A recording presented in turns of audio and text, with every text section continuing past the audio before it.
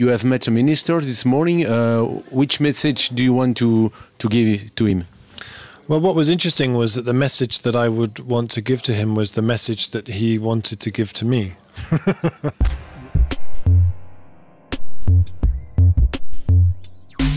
Which is that actually real change happens at the at, at the grassroots. Happens at the community scale. And the role of ministers and of government is to remove the barriers remove the obstacles and help that momentum to keep moving forward and I, I, was really fascinated with his observation that over the last five or six years here in Belgium, there has been a real growth in, in community action, whether it's around seeds, biodiversity, community energy, new enterprise, transition, all of these things growing very quickly. And to hear the minister say, my role is not to tell these people what to do, but it's to remove the obstacles and to give support. That's really that's music to my ears. Could you, for example, uh, give some example uh, in a foreign country about wha what uh, what it works about transition? Yeah, I mean, one of the examples I love is in Alsace, in in Unges, uh, a place called Ungersheim, where they have a mayor there who is very inspired by transition and who has just completely changed the economic model for the development of that place. They've cut the carbon emissions by 600 tons a year, created 100 jobs.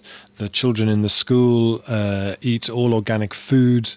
They have uh, many, many remarkable projects. Yes. And and uh, but the the thing that's really exciting for me about Ungersheim is that the uh, when you go there, you see all of these projects where you can see food, energy, all coming together. But what you see that's most exciting is a community reconnecting to itself. You see the social uh, uh, fabric uh, being repaired. How do you imagine the world in 2050? Uh, uh, I imagine the world in 2050 as somewhere really delicious, as somewhere where uh, where which is much more diverse, much more human connection, much uh, better food and drink and more celebration, where people are less anxious and less stressed, and uh, where where where everything feels possible. So you are an utopist or uh, optimist? I'm not a utopianist at all, and I'm an optimist. I don't know. I, I when I imagine the future. I, I am all I am doing is is piecing together things that I have already seen. You know, I've seen fantastic urban agriculture projects. I've seen amazing community energy projects, cooperative wine projects, people growing their own fish. You know that, that all of all of this stuff is already here.